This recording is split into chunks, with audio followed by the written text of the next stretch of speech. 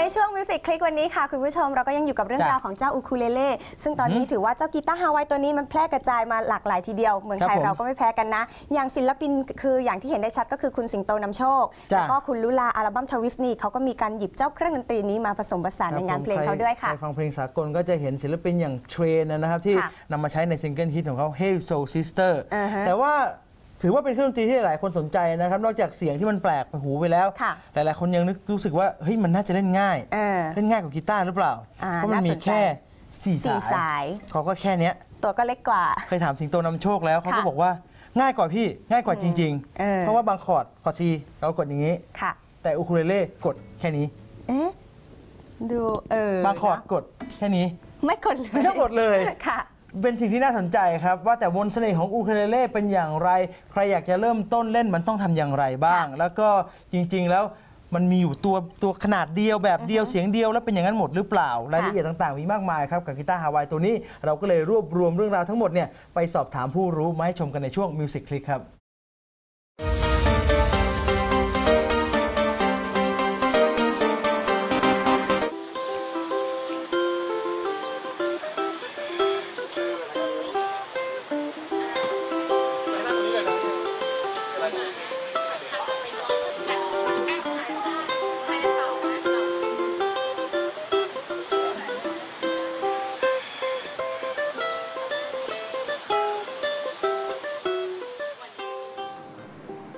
สวัสดีครับ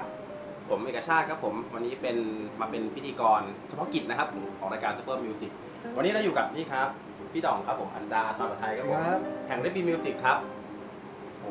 นี่เยอะแยะเลยครับพี่ดองอันนี้เขาเรียกว่าอะไรครับเนี่ยเป็นตัวเล็กๆเนี่ยฮะเรียกว่าอูคูเลเล่ครับอูคูเลเล่เหรอครับผมมันคือ เป็นเครื่องดนตรีเอ่อประจำชาติของฮาวายครับอ๋อ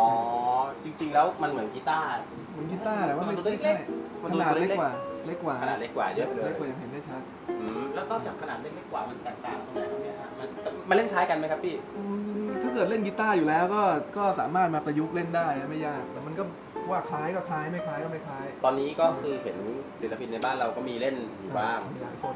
อ๋อมีหลายคนลูกลเช่นสิงโตอ๋อทุกรายเขาเล่นเองด้วย เล่นด้วยครับมี ลุลาสิงโตที่อยู่บนดินใต้ดินก็มีเอกชะเอมมีอัศโลห้ามีคุณอ๋อบอลเอกชาติใจเพชร อ๋อ อย่างนั้นเลยใช่ไหมครับ อันนี้อยู่ใต้ดินไปนะครับผมมี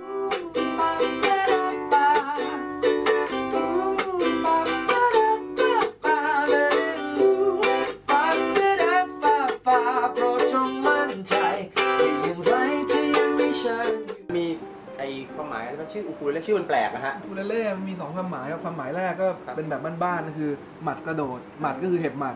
อ่าคนฮาวาย ทำไมตัวอย่างนั้น คนฮาวายเห็นคนโปรตุเกสเขาเล่นครับนะนิ้วมันกระเด้งไปกระเด้งมาบนคออมเห็นก็บอกเฮ้ยนี่มันเหมือนตัวหมัดกระโดดนี่มาอ๋อก็เลยเรียกว่าอูคูเลเล่อ๋อส่วนคในรับความหมายหนึ่งพระราชินีเขาเอามาแปลให้มันเพราะขึ้นแปลว่าของขวัญที่ได้มาแ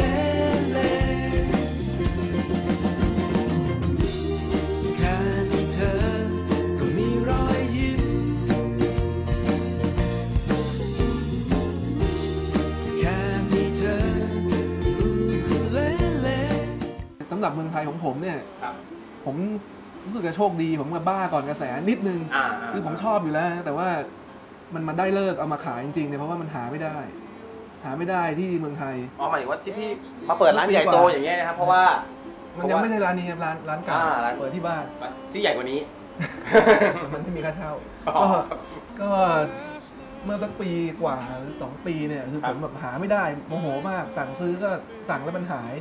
ก็เลยอ๋อส่งก็เลยผ่าน eBay อะไรมาลำบาอ่ากใช่ครับนะหายเลยครับหายไปตัวนึงแล้วก็เลย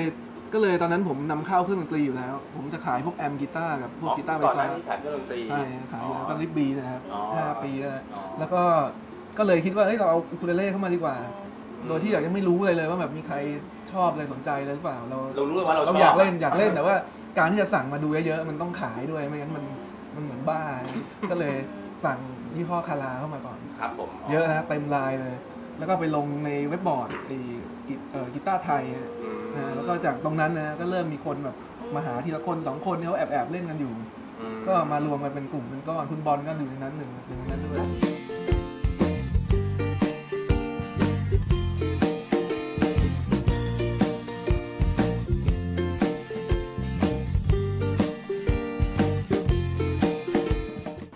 มันมีหลากแบบ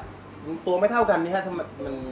มันมีหลายกี่ขนาดแบบเหรอครับ มันมีกี่ขนาดครับผมสี่ขนาดมาตรฐานครับขนาดเริ่มต้นก็คือคืออย่างนี้นี่โซอ่าปราโน อันนี้คือเรียกว่าโซปราโน soprano ครับ เล็กสุดเล็กสุดถ้าพูดบ้านๆก็ประมาณเนี่ยสอง อ๋อประมาณสองพกง่ายอันนี้สบาย พกง่ายสะดวกสบาย อืม ใหญ่ขึ้นมาเป็นคอนเสิร์ตครับ อันนี้ใหญ่ขึ้นมา ตัวถังก็ใหญ่ขึ้น ตัวถัง body body ใหญ่ขึ้น คอก็ยาวขึ้นครับ ก็อ๋อ เสียงใหญ่ขึ้น เล่นได้กว้างขึ้น อ๋อใหญ่กว่านี้ก็จะเป็น เทนเนอร์ฮะเทนเนอร์ก็ใหญ่เข้าไปอีก โอ้โหนี่ใหญ่เลยใหญ่ขึ้นมาอีก ก็ตัวก็ใหญ่ขึ้น คอก็ยาวขึ้น เล่นได้กว้างขึ้น ถ้าจะเล่นตีคอร์ดร้องเพลงเฮฮาก็ตัวนี้ อ่า ถ้าจะเล่นเป็นแบบ fingerstyle บรรเลงเพลงเป็นเรื่องเป็นราวก็ตัวนี้ รักพี่เสียดายน้องก็ตัวนี้ครับ อ๋อ ถ้าเพี้ยนก็มีใหญ่กว่านี้อีกไซส์หนึ่ง คือ baritone baritone มันจะเหมือนกีตาร์อ๋อมันจะเหมือนกีตาร์จิ๋วครับ ส่วนมากก็จะไปเล่นกีตาร์กันดีกว่า ก็เลยจะนิยมอยู่3ไซส์เนี่ยครับ อืมแต่ความจริงแล้วมันอาจจะมีเล็กๆกว่านี้อีกเล็กกว่านี้มีครับ แต่ว่าอันนั้นจะเป็นไซส์พิเศษเป็นไซส์พิเศษที่เขาทำขึ้นมาเป็นพิเศษใช่ไหมฮะ นี่อ่าอันนี้อันนี้ครับเล็กกว่าโซปราโนนี่เขาคนทำเขาให้เรียกว่า tiny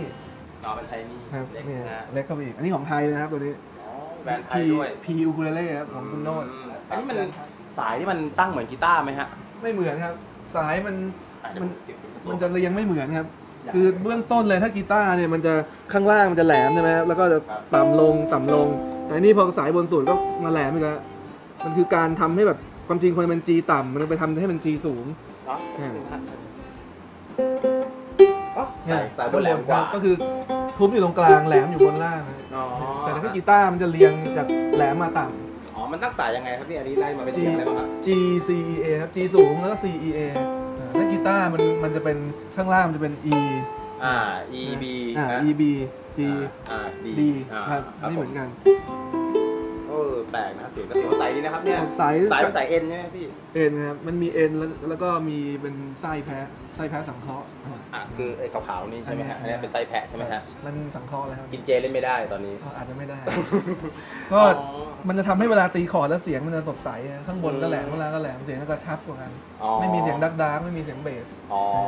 ก็จะสดใสหน่อยสดใสดูกุ้งกิ้งกุ้งกิ้งมาเล่นยังไงเดี๋ยวลองนิดนึงได้ไหมพี่ ง่ายๆเลยนะครับอ่าง่ายๆถ้าเกิดคนเข้ามาใหม่ๆผมก็ให้เล่นอย่างเงี้ยครับ จับ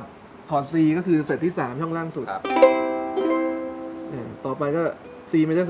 fret ที่ ครับ 2 เส้นล่างสุด แล้วก็ปล่อยเดียวเลยแล้วก็เอออันเดียวเลย แล้วก็ปล่อย A major 7ก่อนพวกนี้ถ้าเล่นกีตาร์วันแรกเล่นไม่ได้ชัวร์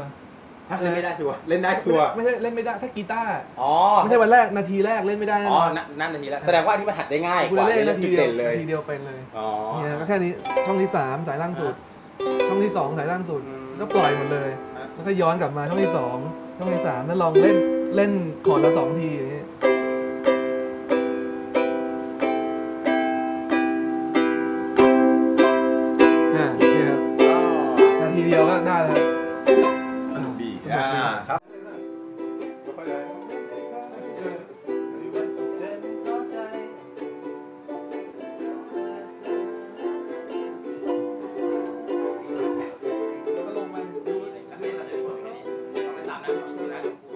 ตอนนี้คือกระแสที่ค่อนข้างจะมา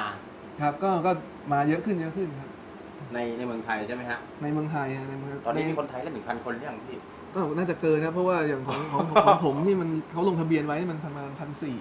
แล้วก็ลงทะเบียนนี่คืออะไรเลยครับ จะมีเว็บไซต์อุ๊บขับอ๋ .net อมันเป็นเว็บไซต์ที่เว็บไซต์ที่เราทำแบบเป็นเกี่ยวกับมีคลิปให้ดูมีเรื่องมีราวแล้วก็มีอัปเดตการสอนของใหม่มาอะไรขออัปเดตนิดนึง แต่แล้วก็จะอืมส่วนมากส่วนมากเนี่ยทำเป็นเรื่องที่เกี่ยวกับอูคูเลเล่ อืมีการสอนมีคลิปมีนู่นนี่นั่นอ๋อเยอะแยะนะฮะ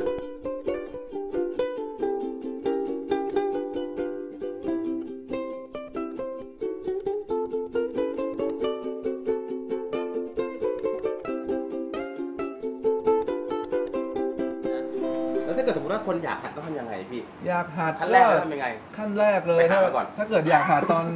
อ่ามาจะมาหาผมก่อนก็ได้ ถ้าไม่มีของก็มาให้ผม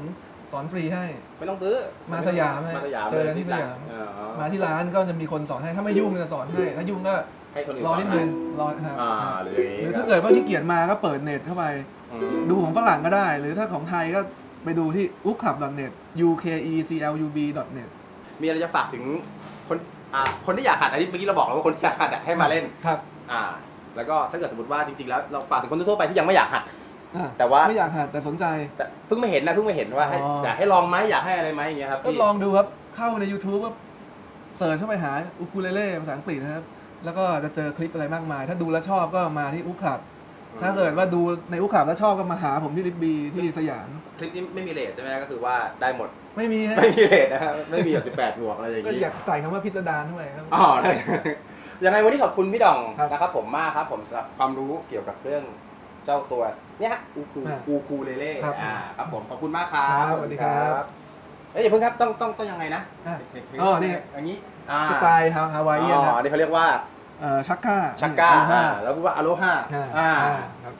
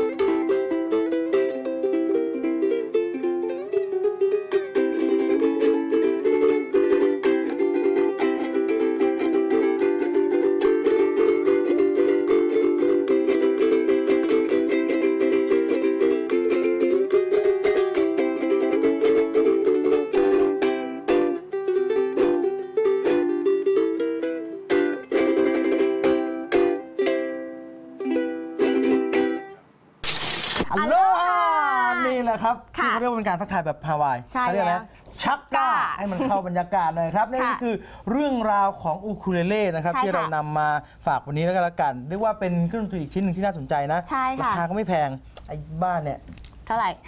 ดีก็ 3 4พันใช่ค่ะ อูคูเลเล่เนี่ยตัวพันสองพันก็โอเคนะใช้ได้ขนาดเล็กๆ น่ารักด้เริ่วยมเล่นใครที่อยากจะเริ่มเล่นเครื่องดนตรีสักชิ้นค่ะ เนี่ย เจ้าตัวเล็กเนี่ยน่าจะน่าสนใจเลยทีเดียวใช่นะคค่ะ รับ แล้วก็ยังมีเว็บไซต์ดีๆ แล้วก็มีหนังสือดีๆ อย่างอุ๊กครับผม 101 ค่ะ ซึ่งก็เป็นพื้นฐานสำหรับคนที่หัดเล่นเชื่อว่า คนที่เริ่มเล่นดนตรีนี้น่าจะเป็นประโยชน์ได้ดีอย่างเดียวเออมีข้อมูลหลาย ๆ อย่างนะว่าอาจจะเป็นคอร์ดพื้นฐานใช่กดค่ะอย่างไร